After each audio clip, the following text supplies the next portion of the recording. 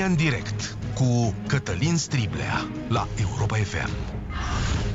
Bun găsit, bine ați venit la cea mai importantă dezbatere din România. Uneori e nevoie, dacă vreți, de pauză de la știrile zilnice, de la problemele zilnice. Avem nevoie de credință, de meditație, avem nevoie să ne regăsim puterea.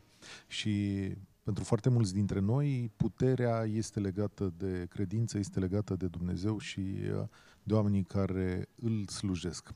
Astăzi sunt în uh, București, în Biserica Sacră Chior, oficial este cunoscută ca Preasfânta Inimă a lui Isus, alături de preotul Francisc Doboș și uh, încercăm să gândim un pic mai mult decât o facem de obicei din reflex sau gândindu-ne cu acele șabloane pe care le folosim. Bun găsit, Părinte! Bun venit și în casa Domnului. Uh, și în... Europa FM în casa, una dintre casele Domnului, pentru că fiecare biserică în fond devine acea poartă, poartă spre cele sfinte. Evident. Trebuie să ne ridicăm și noi la, la înălțimea celor sfinte.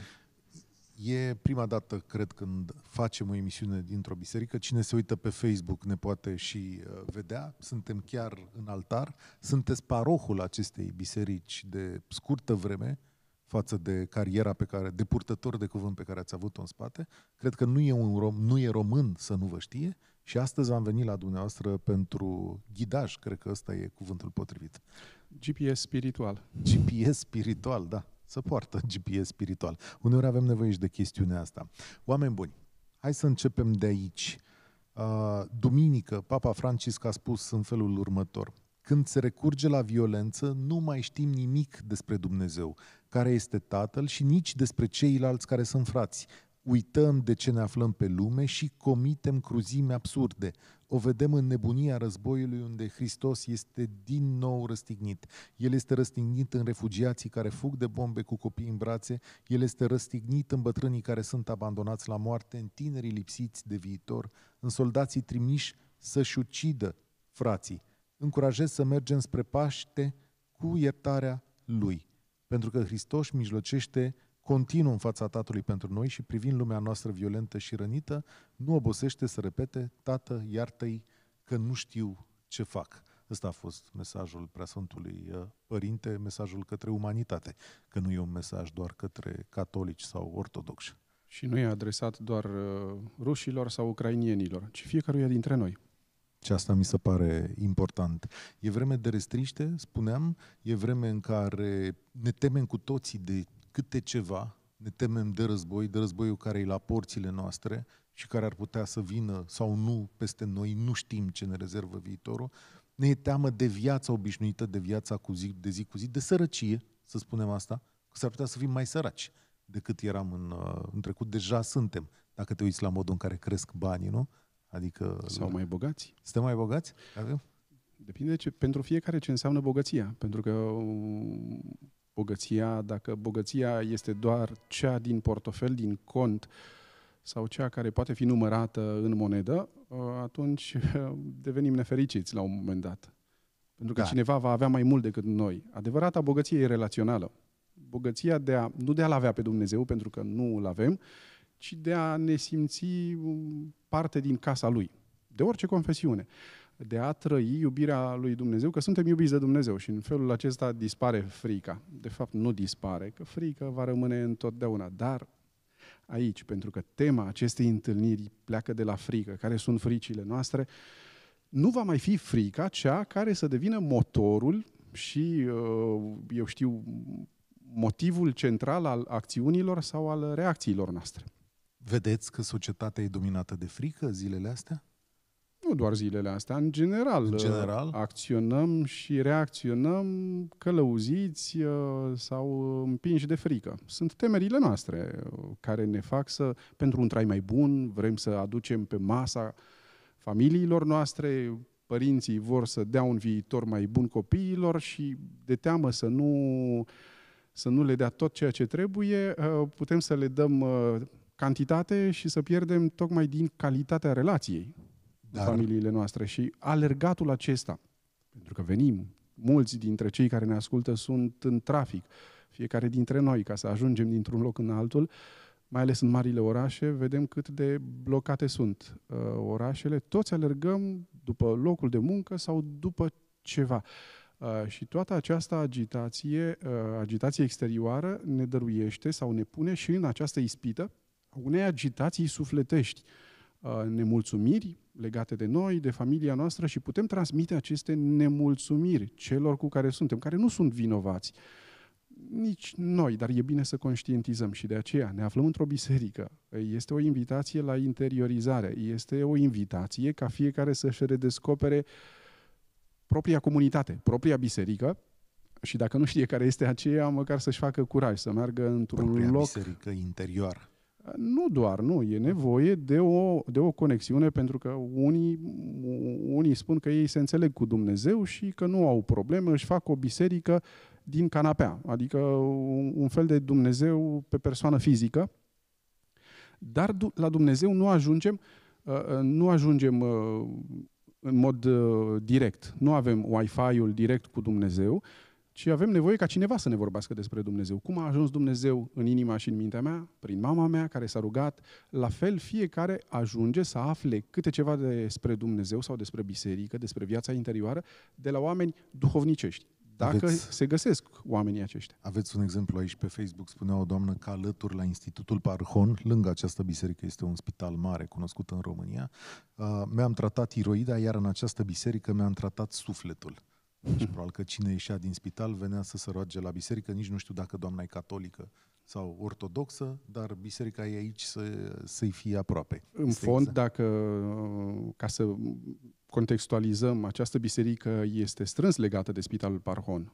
Uh, Pentru că în 1930, când au fost construite biserica și spitalul, de către Monseniorul Ghica și de către măicuțele Sfântului Vincențiu de Paul, pe care Monseniorul Ghica, fericitul Vladimir Ghica, le-a adus în uh, România, uh, era o congregație religioasă, era o mănăstire, de fapt, un sanatoriu aici, uh, Spitalul Parhon.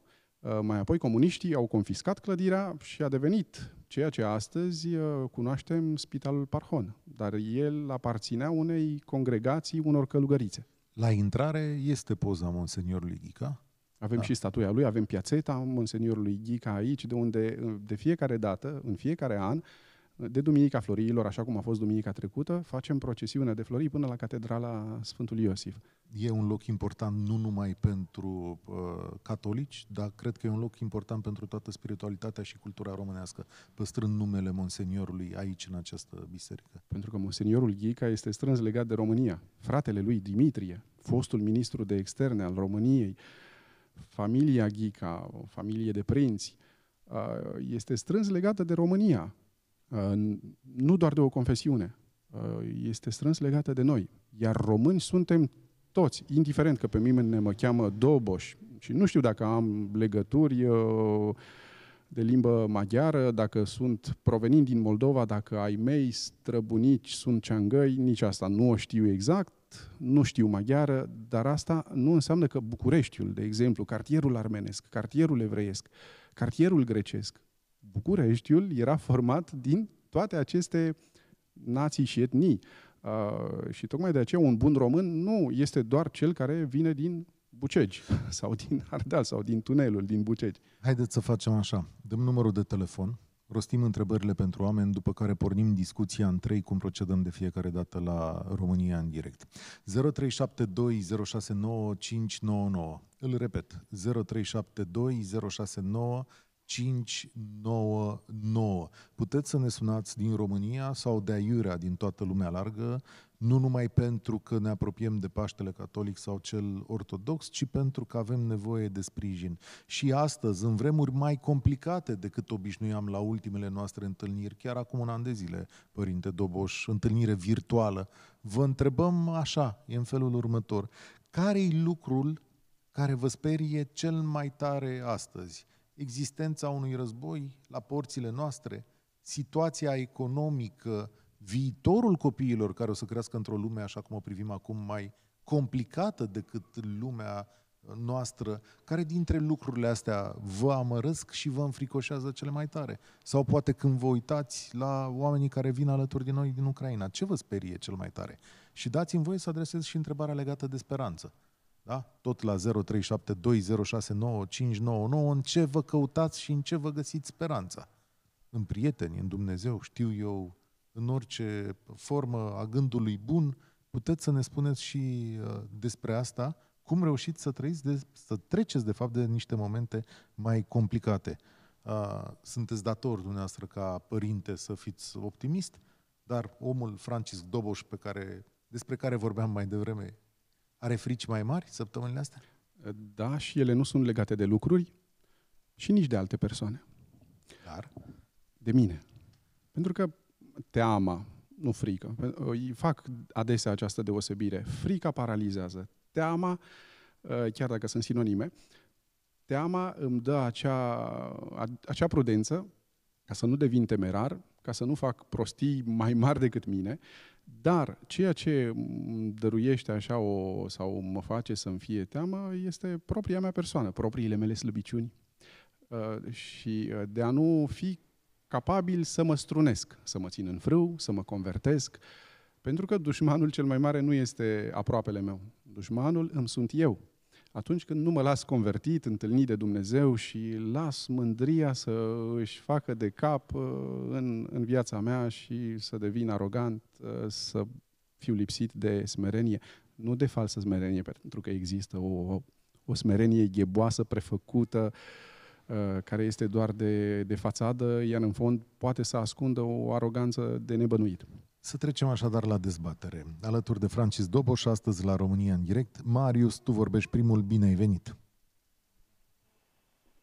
Bună ziua dumneavoastră și invitatului dumneavoastră și sărbătorii pascale fericite creștinilor catolici.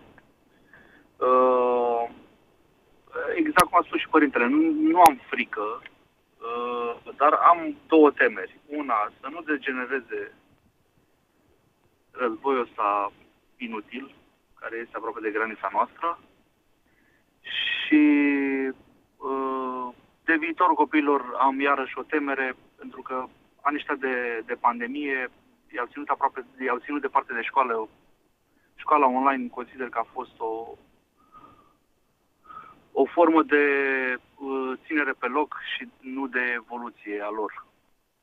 Asta este părerea mea, văzând la, la co- unul din copiii mei lucrul acesta. Adică i-a lipsit interacțiunea fizică foarte mult, dar nici predarea nu a fost cum trebuie, nici ei nu reușeau să se concentreze.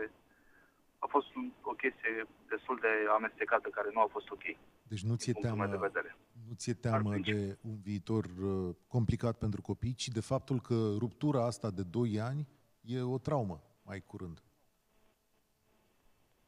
Da, este, este o traumă, o traumă și uh, este de fapt o piedică în dezvoltarea lor, care se va face la un moment dat, dar mult mai greu și cu mult mai mari eforturi din partea copiilor și uneori chiar și a profesorilor. Nu doar copiilor le-a fost greu, inclusiv uh, profesorilor și învățătorilor le-a fost foarte greu în, în perioada aceasta. Dar asta cred că se poate regla cu puțină atenție mai mare din partea guvernanților, cu o programă școlară adaptată vremurilor în care trăim. Ia asta și, să vedem. Marius, stai uh, să vedem ce ne spune părintele. Uh, eu mă gândesc că orice, orice dificultate aici, pandemia, școala online, conflictul din Ucraina, uh, conflict care e de fapt război, agresiune, uh, toate sunt rele care nu pot fi. Ele s-au întâmplat, se întâmplă, sunt încă, au efecte și vor avea efecte. Uh, sunt lucruri pe care noi nu le putem controla. Noi, ca persoană fizică, uh, nu le putem controla, nu putem schimba mersul mare al lumii, dar putem influența. Fiecare dintre noi, dacă nu ne lăsăm cuprinși de toată această febră, uh, va trebui să facem ceea ce putem mai bun astăzi, plecând de aici este o situație de fapt, ce putem face de azi înainte? Ce pot face eu pentru pacea lumii? Să nu mă las cuprins de disperare, de, de frică, să, să nu reacționez impulsiv uh, și să mă rog pentru pace. Iar foarte mulți vor spune, e, asta e treaba voastră și e o formă de a eschiva implicarea. Iar eu spun, cu toată responsabilitatea că rugăciunea pentru pace are o forță enormă. De ce? Pentru că rugăciunea ne aduce imediat pacea? Nu. Rugăciunea mă pune pe mine în fața lui Dumnezeu și dacă îl atinge și pe aproapele meu și pe cei care ne ascultă, rugăciunea lor personală îi scoate din conflict și din starea de, de, uh, de violență interioară care poate să devină la un moment dat violență stradală sau uh, așa cum găsim în trafic sau în casele noastre. Uh, asta mă face, rugăciunea pentru pace, convertește inima și convertește întâi de toate inima mea. Nu doar inima aproape lui meu, care poate mă urăște, mă invidiază sau nu mă acceptă așa cum sunt. Uh, și atunci când ieșim în întâmpinarea aproape lui, spunem noi, săptămâna mare, joia mare pentru romano-catolici, ieșim în întâmpinarea tuturor creștinilor, de orice confesiune, fără să le spunem că ei nu sunt ca noi, ci că ei îl caută la fel cum noi îl căutăm pe Dumnezeu, pe Hristos. Caută o împăcare. Evident, căutăm rezolvarea situațiilor concrete, să ieșim din pandemie și intrăm unde? Intrăm tot acolo. Vom găsi întotdeauna motive de a fi nemulțumiți de ceva. Pentru mine, aici în biserică, încerc să aduc oamenilor în față motive pentru a fi mulțumiți și recunoscători. Marius, speranță, tu cauți okay. unde? Uh, speranța am o, o, o, mică, o mică, vreau să mai adaug ceva uh, la ce a spus uh, părintele. În, acela, în același timp, de partea uh, violenților, există un preot care susține ceea ce se întâmplă. Și ceea ce spuneți dumneavoastră, cu care sunt perfect de acord, se bate cap în cap cu ceea ce li se spune lor. Și ei spun că sunt susținuți de către un uh, cap al bisericii, din punctul meu de vedere, corupt prin ceea ce face și prin ceea ce a arătat. Și ei consideră că au dreptate și ei consideră că sunt îndrumați de Dumnezeu pentru că așa le spune un, un cap luminat al bisericilor, Vă din punctul meu de vedere. Iar doi, da, Vă referiți la patriarhul... am, speranța mi-a fost dată Chiril. Da, la patriarhul Chiril, ca, ca să înțelegem bine la ce vă referiți. Da, care da. Îl, susține, îl susține, susține că este un, un război perfect normal ceea ce se întâmplă și este o purificare a neamului uh, ucrainian, ce a mai spus el pe acolo. Iar al doilea lucru, sper, uh, referitor la speranță, speranța mi-a fost uh, dată după mult timp de către voluntarii care au intervenit, din punctul meu de vedere, exemplar, mult peste autorități. Au intervenit ulterior și au autoritățile, dar intervenția voluntarilor și ajutorul care a fost dat, din toate punctele de vedere, cazare, mâncare, uh, un dram de speranță, un zâmbet pe, pe chipul copilului, cu o jucărie, cu o ciocolățică. Asta mi-a, mi-a redat speranța că uh, neamul ăsta poate să-și revină într-un fel și poate să evolueze și să ajungă la, la nivelul la care ar trebui să fie. Deci asta, solu- este spera- asta e ce mai da mie speranță. Mulțumesc.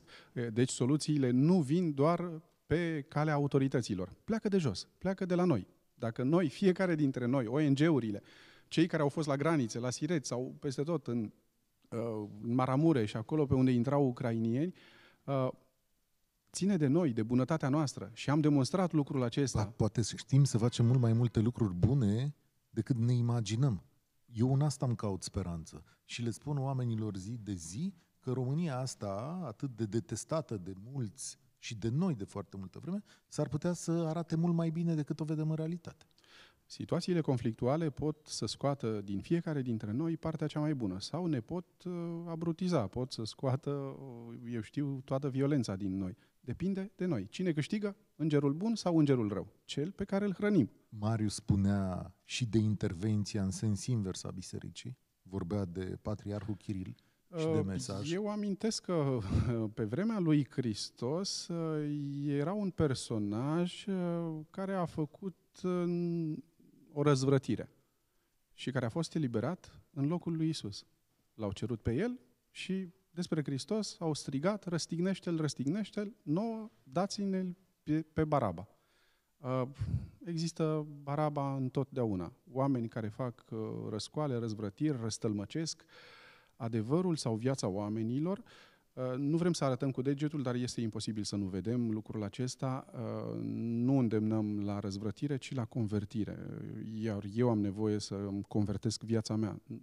Evident că fiecare, începând de la Moscova și pe orice meridian al Pământului, Sunt mulți care au nevoie de convertire, iar aici, pe acest altar zilnic, la Sfânta Liturghie, mă rog rugăciunea Sfântului Papă Ioan Paul al II-lea pentru pace. Rugăciune pe care a rostit-o și eu mi-aduc aminte, eram la Roma când am ajuns în 1997, când am învățat această rugăciune, el a spus-o uh, când a început conflictul și războiul din Irak, în Bagdad. Deci nu este, uh, pentru că războaiele e, sunt e de greu peste pentru tot. oameni, părinte Doboș, să vadă doi capi ai unor biserici atât de mari, pe poziții atât de diferite. Papa Francis vorbind, vorbind despre toate tragediile pe care le trăim și din partea cealaltă din Rusia, spunându-se că e vorba despre nație, credință și ce să mai transmite de acolo. Hristos a venit să ne mântuiască pe toți, indiferent de națiune, de confesiune, de rasă.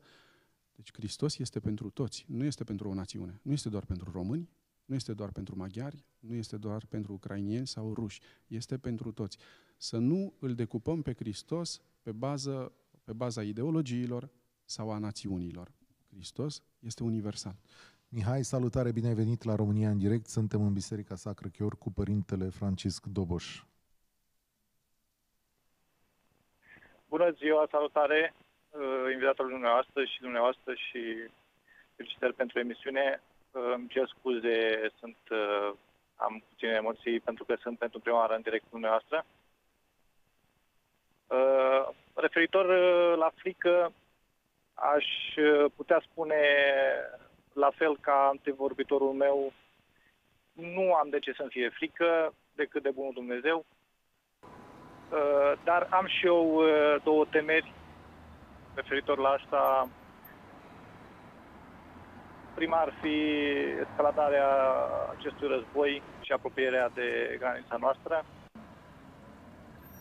Și a doua, cred că sunt uh, politicienii noștri care de atâția ani duc niște politici uh, în interes propriu.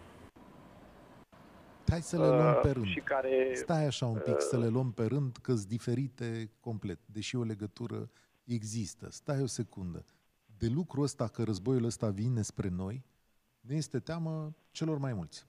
Dacă e ceva să ne apese, e faptul că războiul ăsta să poate ajunge la granița noastră. Și că nu-l controlăm noi. Nu avem niciun instrument să-l controlăm da, nu avem. la îndemână. Înainte oprim, mai în afară aveam. de rugăciune, evident. În, afa- în viața obișnuită aveam, puteam să controlăm ceea ce ni se întâmplă. Nu chiar și democratic, când vorbim de politicieni. Îți trecem la întrebarea a doua. Din când în când îi mai controlăm.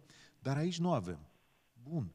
Asta e temerea cea mai mare pe care puteți să o adresați multor oameni care ne ascultă zilele astea, pentru că nu știm ce o să se întâmple. Iar față de, o această, de această temere pe care nu o putem controla, viața politică o mai controlăm prin alegeri, chiar dacă suntem păcăliți sau oarecum știm cum se întâmplă, dar războiul nu-l putem controla. El poate să ajungă oricând. Ce trebuie să fac? Da. Pentru că foarte multe familii deja se gândeau, ne mutăm. Unde? Plecăm în Anglia, plecăm în Oamenii Grecia, își fac plecăm, pașapoarte, își mută fac banii. pașapoarte, Da. mută bani. Uh, unde să fug? Să fug de mine? Să, să fug unde?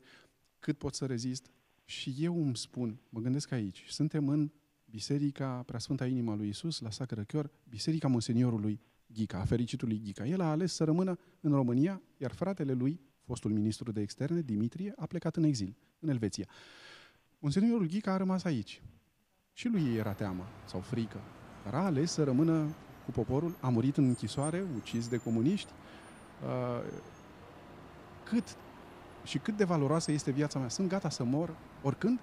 Adică am trăit plinătatea vieții. De ce? Plinătatea vieții mele înseamnă mai mulți ani de acum înainte? Sau ceea ce facem acum? Pot să transmit prin acest microfon un semn de speranță către mulți români, către multe inimi, să nu se lase cuprinși doar de fricile acestea, războiul, pandemia, ci și de o încredere că Dumnezeu poate să călăuzească viața mea și eu doar să-mi trăiesc bine ziua de astăzi, pentru că mâine este în mâinile lui Dumnezeu, chiar dacă sunt atât de mulți oameni răi care fac politica celui rău, a diavolului. Am vrea să știm cum ne apărăm, de fapt, părinte. Uh, nu ne apărăm noi. Uh, în sensul că viața nu trebuie doar apărată, trebuie investită, chiar și consumată. Să nu ne fie frică să murim.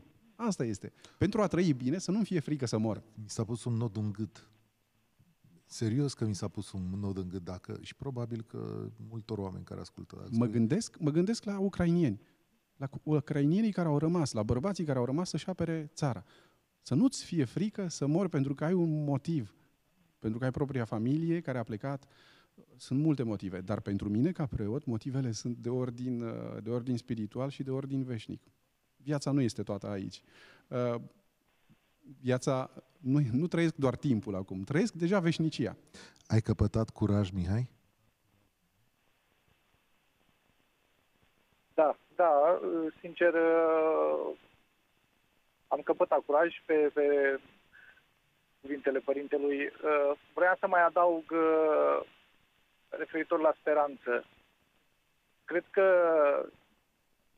în ce, în ce ne putem spune noi speranță acum în, în vremurile astea grele uh, ar fi în puterea noastră de, de a face față situației, de a ne adapta și de a fi întotdeauna gata să înfruntăm orice. Adică, cum a spus și părintele, să fim gata să, să luptăm pentru țara noastră și să dăm totul pentru, pentru, pentru familiile noastre cred că cea mai mare speranță mi-o pun în puterile mele și în sănătatea mea de prea mă ajuta să, să, să pot să fac față situației. Îți mulțumesc tare mult pentru mesajul tău. Îți doresc spor la treabă și să ai o săptămână luminată. A întrebat cineva pe Facebook uh, dacă facem emisiune și preot ortodox. Și cum preot ortodox. Da, joia viitoare facem emisiune cu colegul dumneavoastră de carte, Francis Doboș, cel de care vă leagă o prietenie mare, Părintele Constantin Necula.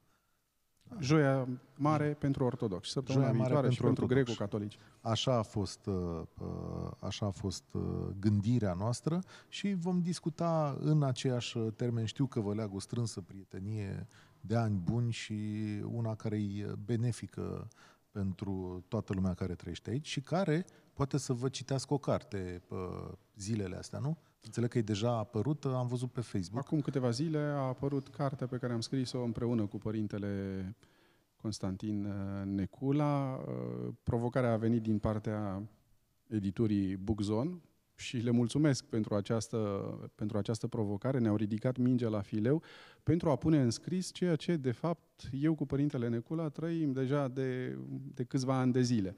E o prietenie, e o frățietate, e o modalitate de a, de a ne privi uh, în căutarea noastră de Dumnezeu și de a nu ne arăta doar slăbiciunile și de a da vina pe, eu știu, pe schisme, pe, pe defectele tră, trecutului, pe păcatele cruciadelor și așa mai departe, fără să ne anatemizăm și să ne tratăm ca eretici. Uh, ne tratăm ca frați, căutători de Dumnezeu și căutători de iertarea Lui și de iubirea Lui. O să zic așa că printre capitole o să vorbiți despre, sau vorbiți deja, împăcarea cu trecutul, regăsirea de sine, despre fericire. Păi poți să fii fericit zilele astea? Da, da pentru da. că fericirea are o strânsă legătură nu cu buzunarul, ci cu sensul și cu relația, prezența celor dragi.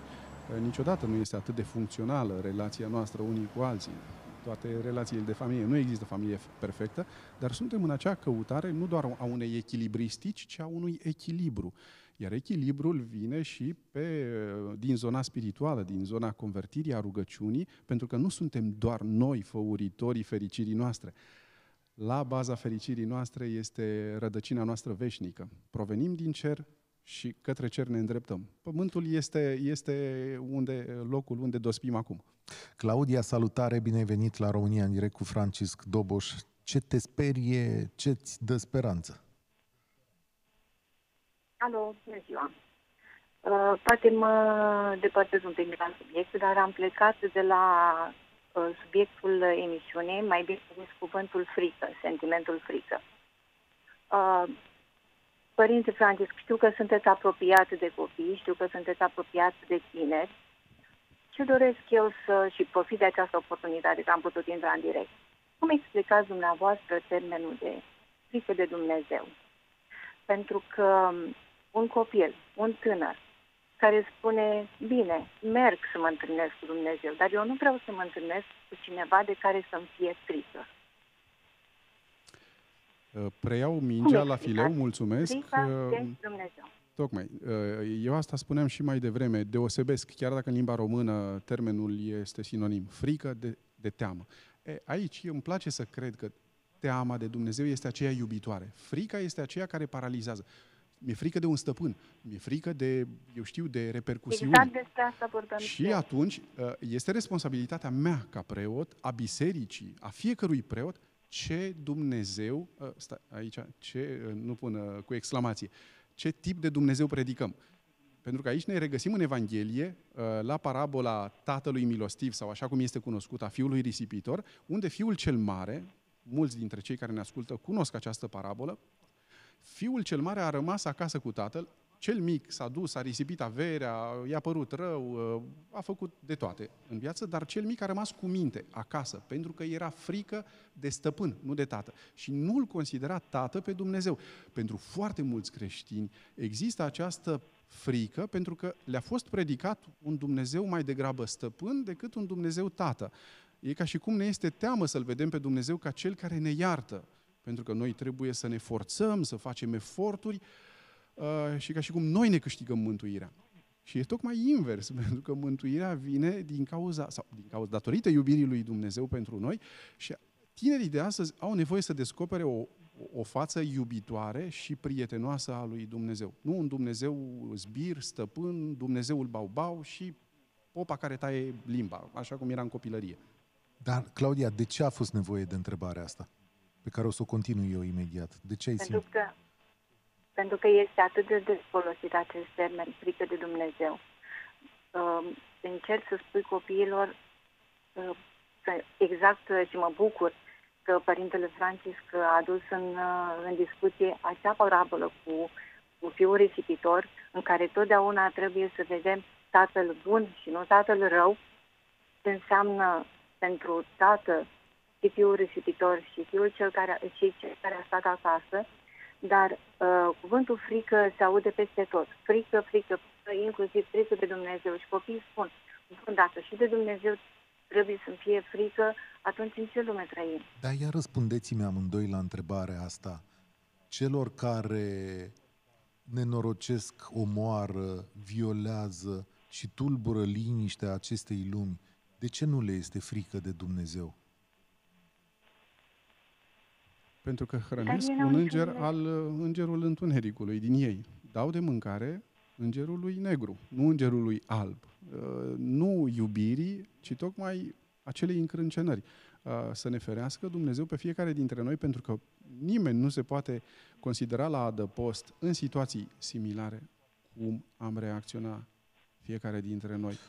Claudia, spuneai că n-au niciun Dumnezeu? Am auzit bine? Da. Nici măcar într-o piatră nu cred, cred. E nimic. Dacă ar crede în ceva, n-ar face ceea ce fac. Avem nevoie să descoperim uh, și să-L predicăm un Dumnezeu iubitor. Uh, frica, chiar dacă în limba română, poate avem nevoie să, să traducem din nou uh, cuvântul lui Dumnezeu fără să-L manipulăm, dar să dăm, să dăm această explicație, contextualizare, că frica nu este doar aceea de a mă teme de El, de o repercusiune, ci de a mă teme, de a mă teme să nu-L rănesc pe Dumnezeu, așa cum de persoanele iubite, mama, tata, uh, copii, mi-e frică să nu-i rănesc. Și asta nu este frica care mă paralizează, ci Asta vine e din cel mai iubire. bine. Și asta trebuie să predicăm și să spunem oamenilor în biserică, în societate, uh, temeți-vă de Părinte, Dumnezeu în acest sens. Dar n-ar trebui să le fie frică acestor ticăloși de Dumnezeu? Acum asta spune toată lumea, se uită și pe Facebook și în jurul nostru. N-ar trebui să le fie frică la modul propriu de Dumnezeu?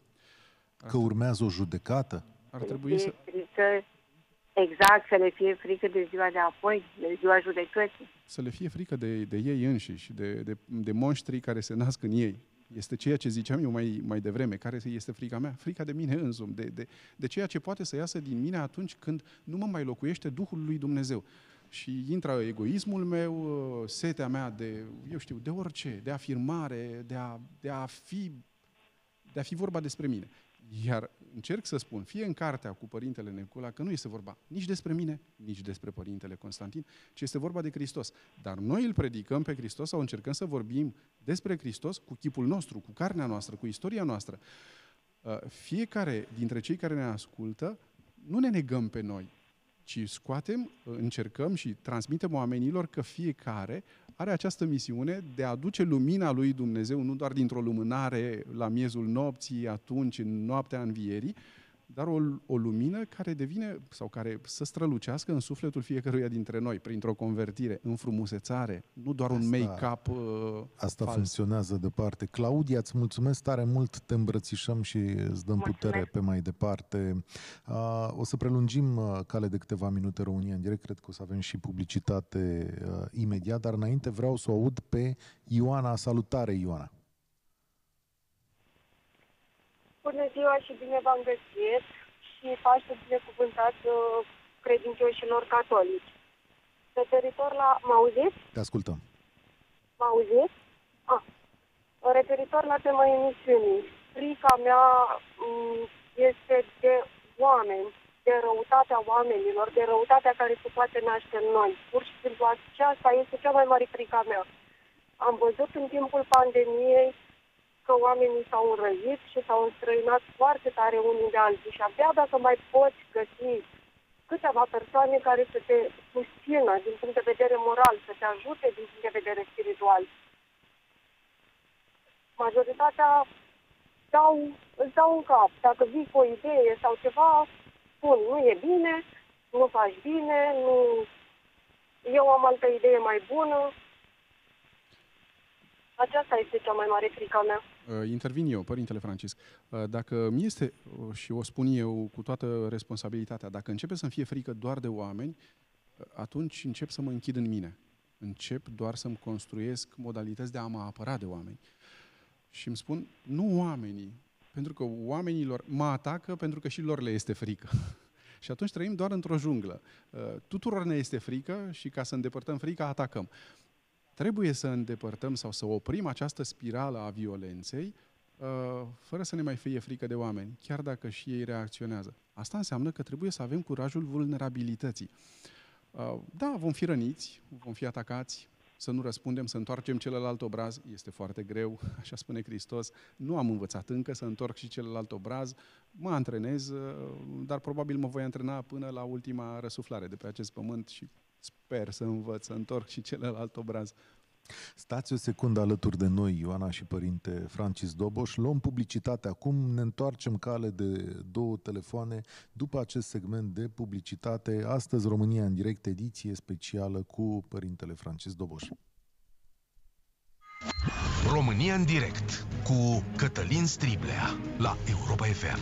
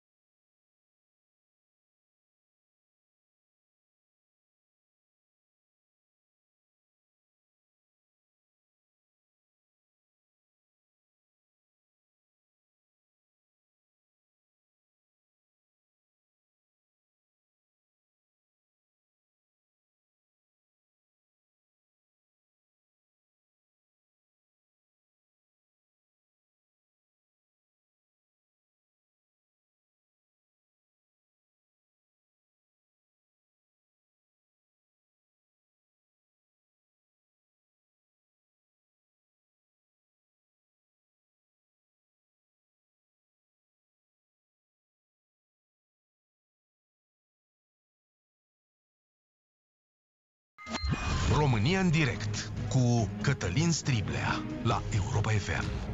Astăzi o ediție specială din Biserica Sacră Chior din inima Bucureștilor, alături de Părintele Francisc Doboș. Suntem înainte de Paștele uh, Catolic și uh, săptămânile astea așa se procedează în mod obișnuit. Uh, căutăm să ne liniștim un pic, măcar în zilele alea, dar deocamdată înțeleg că ne agităm, da? că Bucureștiul, că orașele sunt pline, că urmează uh, lucruri, cum să zic, complicate din punctul ăsta de vedere. Sau alergarea după cumpărături. Încercăm Sau să umplem alergarea, doar da. uh, masa de Paști, dar noi insistăm, preoții, uh, umpleți și sufletul uh, cu har. Da, da, da, da, să... E nevoie, dar știți că e binevenită că e nevoie de o pauză. Cred că e nevoie de o pauză din când în În când. tot nevoie, întotdeauna avem nevoie să, să facem pauză ca să auzim cum crește cerul în noi și veșnicia. Mi-e teamă că de data asta când facem pauza se aude și nemernicia de undeva, de nu foarte departe de, Dar de ne, ne România. interpelează pe fiecare dintre noi, interpelează conștiința noastră, responsabilitatea noastră Ah. și nu doar să strigăm că e vina celorlalți. Ce interesant. N-am mai auzit punctul ăsta de, de vedere până acum. Dacă ni se adresează fiecăruia dintre noi în mod separat și că trebuie să dăm un răspuns. Va veni și o socoteală acestor răspunsuri la un moment dat. Uh, Ioana, mai e pe fir. Ioana, hai să verificăm lucrul ăsta. Nu mai e Ioana de la ea, era tonul acela. Uh, imediat o să revenim la discuție. 0372069599. V-am întrebat astăzi despre teamă și speranță, da? Care e cea mai mare temere a voastră în aceste zile, dar de fapt și care e cea mai mare speranță. Și uh, că avem ori pe Ioana, ori o altă Ioana, văd că e la telefon acum, ia să vedem. Salutare, Ioana. Alta, Ioana. Da. Salutare, bine ai venit la România în direct. Uh, Bine v-am găsit. Eu vreau doar să intervin și să spun că uh, sigur toată lumea se gândește la nebuniile de lângă noi, la răutatea aceea pe care o vedem zilnic, ce se întâmplă în vecini Dar, simt un dar și aici. totuși eu nu cred că toți uh, oamenii sunt răi. Sau poate că nu m-am exprimat bine. Nu cred în uh,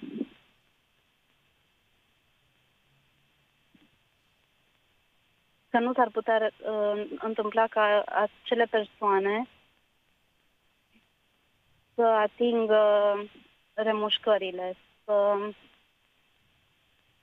să devină la un moment dat uh, să, nu știu, poate că o să fiu înțeleasă greșit. Um, Te ascultăm. Vrei să să revină în gânduri mai bune. te că gândești că, Există speranță în astfel de oameni.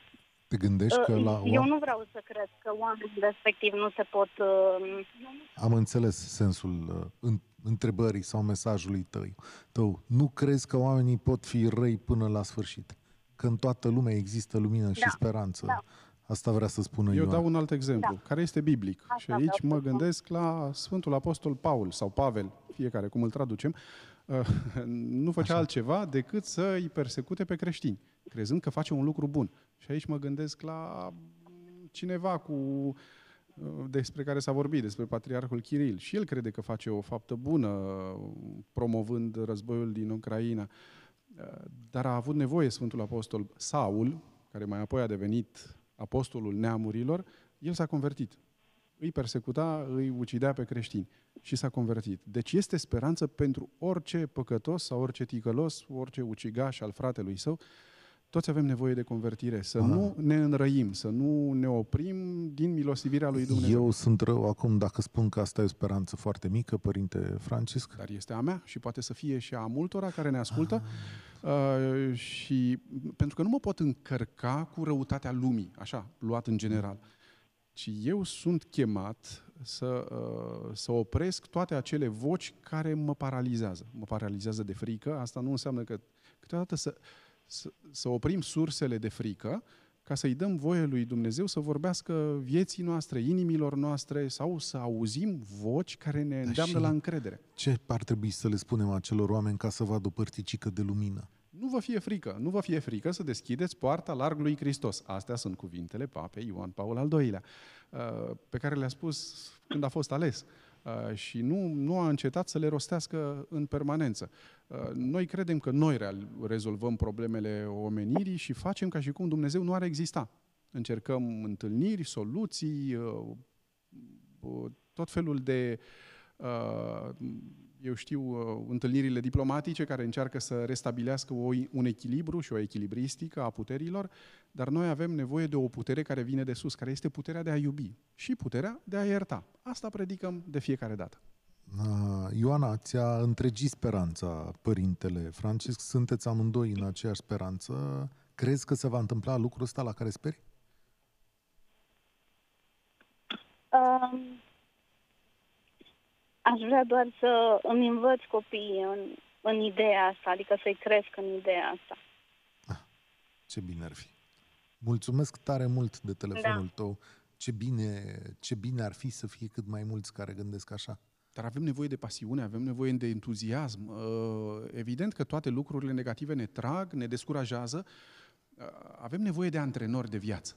Și atunci cine ne antrenează la viață? Antrenori de viață. Evident. Că altfel, nu, așa, antrenor de frică, fiecare dintre noi devine uh, toate bârfele de la colț, ai auzit, dar ce s-a mai întâmplat? Și nu facem decât să, uh, să înmulțim știrile negative haideți să, să dăm drumul acelei lumini. Lumina aceea pe care o aprindem în noaptea de Paști eh, să, să nu fie doar în lumânare, să fie în cuvintele noastre, în gesturile noastre, așa cum s-a întâmplat acum la granițele României, când i-am primit, când am primit refugiații din Ucraina, eh, să dăm drumul, eh, să dăm drumul fricilor pentru a face loc binelui. Robert, tu închei România în direct de astăzi. De ce ți-e frică? De ce ți-e teamă? Unde ți-e speranța? Bună ziua, bună ziua invitatului noastră și ascultătorilor. Uh, cred că nu sunt singurul. În primul rând, uh, cred că mi-este frică de viitorul copiilor mei, pentru că în momentul când ai copii, deja nu mai ești tu pe primul loc și nu trebuia să fii nici înainte. Adică când ai o familie și ești uh, tătic, automat se frică de viitorul lor. Speranță nu sunt nici creștin 100%, ca să spun așa, dar nici ateu și uh, speranță, sper că se va face o minune și că acea gloată de oameni care fac atât de mult rău, de mai bine de o lună încoace, se va întâmpla ceva cu ei. Nu este bine să vrei rău cuiva. Asta nu e ok, dar uh, nici uh, creștinește nu este. Dar câteodată știți cum este. Mai bine să se întâmple ceva rău cu cineva decât cu zeci de mii de oameni. Da, cea mai mare teamă a mea este pentru copiii mei. Iar speranța este acolo, așa cum spune și Zicala, speranța mare ultima, că ceva se va întâmpla într-un timp cât mai scurt și că această suferință se va curma cât mai repede. Stai un pic că cu nu noi. este suferință doar... Uh, ok. Stai un pic cu noi. Știu că ți-am luat vorba din gură, dar stai un pic cu noi ca să se răspundă Părintele Francisc pe rând la chestiunile astea. Uh, da, este teama pentru viitorul generațiilor, pentru viitorul copiilor, uh, pentru că spunem noi, de acum am trăit, am investit, dar cei mici, în ce lume vor trăi? Uh, în lumea pe care o construim noi acum. Și nu avem controlul reacțiilor celor din Rusia, uh, ne temem, vedem, vedem tot ceea ce se întâmplă. Dar nu pot să-mi construiesc prezentul cu teama de mâine am nevoie de entuziasm pentru a-i antrena pe copii să fie încrezători, să fie ei uh, cei care, care vor duce această lume mai departe, dincolo de răutatea din Rusia sau de peste tot, din, din Nigeria, din, din Sudanul de Sud, unde există conflicte foarte mari, uh, sau din alte părți Uh, din alte zone ale globului unde există conflicte. Dar mai dincolo de conflictele acele armate, sunt conflictele dintre noi, egoismele acestea, neîncrederea reciprocă, fie în autorități, fie în oamenii politici, fiecare căutându-și uh, să-și aranjeze poziția socială. Uh, pentru că la asta ne, ne pricepem foarte bine. Apelăm la, la cumetrii, la rude, la, la tot felul, uh, ca să ne aranjăm pe noi. De fapt de aici vine, de la frica ca să nu dăm copiilor tot ceea ce este mai bun, ajungem să călcăm pe umerii sau pe demnitatea semenilor noștri. Avem nevoie să ne privim cu iubire, cu îngăduință și să nu credem că trebuie să salvăm doar familia noastră. Avem nevoie să salvăm familia umană. Pentru aceasta este invitația de a ține cont nu doar de propria familie de sânge, ci de propria comunitate. Eu, ca preot, trebuie să spun lucrul acesta. Dar Robert, Robert Maiești, da? Spunea așa, că aștepți, Da, o, da, min- vă ascult cu drag. uh, aștepți o minune, cum spuneai, care să împiedice pe oamenii răi, așa spuneai, nu? Da, oarecum să se întâmple ceva cu ei ca să se sfârșească, pentru că, din câte observăm noi, cam asta ar fi singura modalitate prin care această invazie uh, necu- nu necugetată, nejustificată, a pornit și cred că asta ar fi singura modalitate, pentru că dacă marile puteri ale lumii, vorbim aici din punct de vedere militar și financiar și tot așa mai departe, n-au putut să ia măsuri până acum, atunci nu pot să sper decât la o minune dacă nici ei n-au putut să intervină și să oprească uh, ceea ce s-a întâmplat și toate știrile pe Minune care le divină. vedem că se întâmplă acolo și Iar minunile asta Dumnezeu știi, le, dar are, uh, am uh, minunile Dumnezeu le realizează prin oameni, prin noi. Tocmai de aceea ne rugăm uh, ca Dumnezeu să-l atingă și aici fiind în casa, o spun, uh, am spus-o de câteva ori, suntem în uh, biserica uh, pe care a construit-o fericitul Vladimir Ghica și am spus-o de mai multe ori la Sfânta Liturghie, îl implorăm pe Dumnezeu prin fericitul Vladimir să-l convertească pe un alt Vladimir. Uh, Avem nevoie de, de această speranță pentru că minunile se realizează prin noi. Uh, Nu vin așa, Dumnezeu nu, nu trimite Iron Man, Superman și Batman. Ne trimite pe noi, fără aripi, dar cu un entuziasm. Uh, și dacă acest entuziasm ne cuprinde pe fiecare, uh, avem, avem o, responsabilitate, o responsabilitate foarte mare pentru pacea lumii și pentru pacea inimilor noastre. Auzi, Robert, vine de la tine. Sau prin tine, sau prin vocea ta. Dumnezeu face minuni prin noi.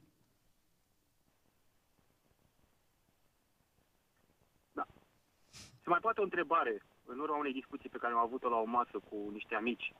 Din câte știu eu acum, contraziceți-mă, uh, Lucifer a fost cel care a vrut să-i semene lui Dumnezeu. Tocmai de aceea a fost alungat. El a fost cel mai frumos înger, nu? A vrut să-i semene lui Dumnezeu, a fost alungat și de atunci a luat naștere Lucifer, nu? Uh, Pentru că uh, de la început omul uh, sau diavolul l-a ispitit și pe Adam că Dumnezeu este concurent. Că Dumnezeu nu ne-ar vrea atât de mult binele și e mai degrabă un stăpân, apropo de ceea ce discutam mai devreme, că trebuie să ne fie frică de Dumnezeu. Uh, și cine ne pune frica aceasta? Da. Până la urmă tot cel rău. Pentru că uh, e această mândrie. Vrem să-i luăm locul lui Dumnezeu. De la început, să nu mănânci din pomul vieții, din pomul cunoașterii binelui și răului. Uh, De ce? Pentru că nu devenim noi izvorul vieții și nici izvorul moralei, ci este Dumnezeu. Și atunci când noi ne regăsim locul nostru, îl lăsăm pe Dumnezeu să fie Dumnezeu și nu mai devin eu idol, uh, nici, uh, nici măsura tuturor lucrurilor. Dar sensul întrebării era... Da, unde vreau eu să ajung în urma discuției și mi-a pus o întrebare un amic și chiar am rămas și eu puțin blocat, uh, era legată de, de această întâmplare cu Lucifer, cum că Dumnezeu a luat uh, măsuri, da, ca să zicem așa, să formulăm așa, și l-a alungat. Și a luat măsuri pentru că a văzut că acest uh, înger uh, întocmai nu vrea să-i semene și tot așa mai departe. Și m-a întrebat cineva, bă, dar ce face Dumnezeu ăsta acum? Fie el de orice tip de creștinism. Ce face el acum? De, nu ia măsuri în timp ce mii de oameni mor și de ce nu face nimic? De ce Adică era o întrebare îngăduie? care pe mine m-a oarecum a pus în, în stand așa, exact. De ce îngăduie așa ceva? De ce nu face măsuri? Pentru că poate să facă și minuni în așa fel încât noi să nu vedem că este venită din partea lui. Suntem, Și a fost o întrebare chiar, care chiar m-a pus pe gânduri. da, suntem în Joia Mare pentru noi, uh, pentru romano-catolici. Mâine e Vinerea Mare. Uh, De ce a stat Dumnezeu cu mâinile în sân când a murit Hristos? Uh, Și această întrebare se tot repetă pentru fiecare oroare a istoriei și pentru Auschwitz. Unde era Dumnezeu? Era pe cruce, era, era în oamenii care au murit. Dumnezeu este prezent în toți cei care sunt uciși. Uh, Dar Dumnezeu este prezent și în, uh, și în cei care ucid. Uh, Și asta este, este speranța că Dumnezeu va învia în inima celor care au făcut răul și îi va converti. Uh, Dar lucrul acesta nu se întâmplă automat. Se întâmplă și cu ajutorul nostru, ca noi să nu ne lăsăm cuprinși de ură și să spunem și să dăm vina pe Dumnezeu. Unde era Dumnezeu când putea să oprească uh, orice conflict cu, o- eu știu, cu, Care cu este ceva. involuntar, părinte. Este este involuntar. Este involuntar câteodată când vezi atâta răutate, câteodată când vezi o persoană cu gașca lui care face atât de mult rău, când vezi că niște copii total inocenți și nevinovați primesc atât rău, nu ai cum să te controlezi. Evident. Și, uh, cum se spune, nu ai cum. Deci ura asta este involuntară. Asta înseamnă să te minți pe tine că tu nu ajungi să-l urăști pe omul ăla. Eu îl urăsc pe omul ăla din toată inima mea. Eu recunosc. Dar nu am cum să mă mint pe mine să zic că nu-l urăsc. Când văd cât rău a făcut, cât, câtă moarte a adus și cât rău face în continuare și câte vieți a distrus și case, care o casă a familiei este o casă a familiei, nu reprezintă doar niște pereți, nu ai cum să nu-l urăști. Este involuntar. Suntem făcuți noi așa din așa natură, nu ai cum, doar să te minți pe tine să spui, nu, n-am nimic cu el. Nu. Așa este, Nu, este eu- involuntar. Eu spun ceea ce spun eu. Da, este involuntar, așa se întâmplă cu fiecare dintre noi, dar noi nu suntem doar reacțiile noastre. Și aici intervine creștinismul, intervine Hristos. Prima, prima reacție este aceea de a urâ. Dar dacă urăsc, de fapt, m, pe celălalt poate nici nu-l influențează, poate nici nu ajunge ura mea față de el la el și nu-l influențează cu nimic. Mă distruge pe mine doar. Îmi distruge mie pacea, ura aceasta îmi distruge mie prezentul. Uh, tocmai de aceea a nu urâ uh, este o dovadă de iubire față de mine, nu neapărat față de un dușman sau de cel care a făcut răul. Tocmai asta spun, nu poți să te controlezi în astfel de situații pentru că nu poți. Pur și simplu nu ai cum să te minți pe tine. Nu cred că este cineva care este atât de indiferent la ceea ce se întâmplă uh, uh, în momentul de față în Ucraina din cauza unui om care și-a putut o, o gloată de sclavi. Nu cred că este nimeni indiferent încât să nu zică, mamă, ce, ce aș vrea să văd. Adică am văzut postări în care toată lumea îi dorește moartea. Pentru că asta se pare că ar fi singura variantă ca atât de multe suflete să nu mai aibă de suferit în special copiii, care acolo îi doare cel mai tare. Să vezi copii care pur și simplu copilărie distrusă sau cele mai urâte cazuri, să-i vezi într-un coșciug, eu nu vreau să mă pun în locul părinților, nu vreau să mă pun în locul... Este total... Și n-am învățat nimic, că ați pomenit de Auschwitz mai devreme. Se pare că omul ăsta, specimenul ăsta, n-a învățat nimic din cel de-al doilea război mondial. Nimic. Și cu un nebun nu pot să cred că acolo mai este vorba de credință când el nu mai judecă, el nu este lucid. Nu știu dacă acolo se mai poate vorbi de credință sau de altceva. Acolo nu, dar aici da. Noi, cei care ascultăm acum această emisiune, putem să vorbim de credință. Uh, E adevărat că răul este acolo, dar ne poate cuprinde și pe noi tocmai prin ură. Uh, A ne implica nu înseamnă ca să, să ne ducem să, să-l oprim pe cel violent tot cu violență. Uh, Pentru că Dumnezeu își dă El viața.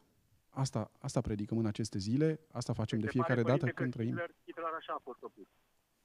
Mă Da. scuzați că vă întrerup, dar Hitler așa a fost oprit. Că dacă nu era oprit tot prin violență și tot prin, prin crimă, se- el continua așa și își bătea joc de toată lumea. Uh, Vom Pare că vedea, tot așa vom a fost vedea cum ne va converti Dumnezeu pe fiecare dintre noi.